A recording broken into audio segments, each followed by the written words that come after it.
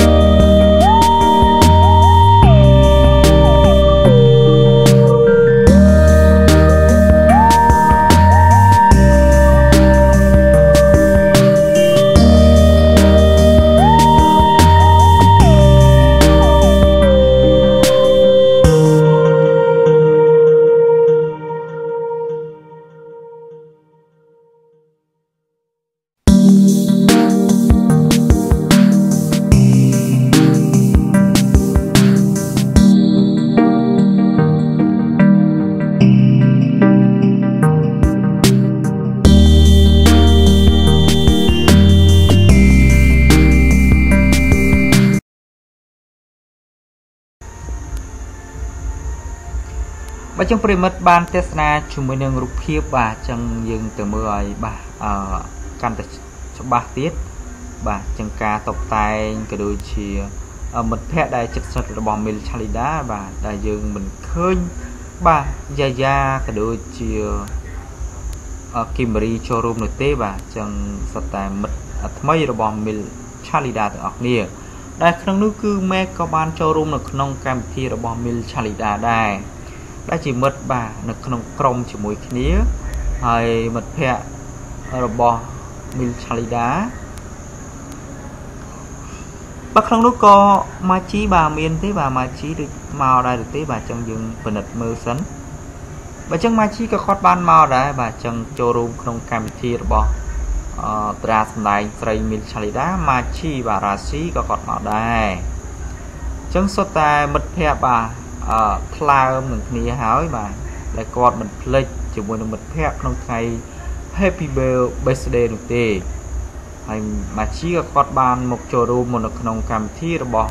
Mil Chalida ហើយជាមួយនឹងតារាសម្ដែងស្រី Meg បាទ Periner ក៏គាត់បានចូលរួមផងដែរបាទ Mil Chalida គឺគាត់បានពាក់សក់បាទពណ៌អខៀវបាទហើយជាមួយនឹង Meg នេះវិញគឺផ្កាឈូក បាទជាមួយនឹងមីបាទម៉ាជីបាទពណ៌ទឹកសមុទ្របាទក្នុងពិធីគប់ណើតយ៉ាងសប្បាយរីករាយផងដែរបើចឹងការចូលរួមនេះពិតជាសប្បាយរីករាយជាមួយនឹងមិត្តភ័ក្តិជាច្រើនផងដែរបាទហើយក៏មិនភ្លេចម៉ាជីក៏គាត់បាននាំស្វាមីមកជាមួយ គឺលោកភពផងដែរបើចឹងព័ត៌មានតារាសិល្បៈតកតងជាមួយនឹងការមក ចូលរួមនៅក្នុងកម្មវិធីខូបណារបស់ Mil Chalida PD ខ្ញុំសូមបញ្ចប់ផងដែរបើចឹងយើងទៅអទស្សនា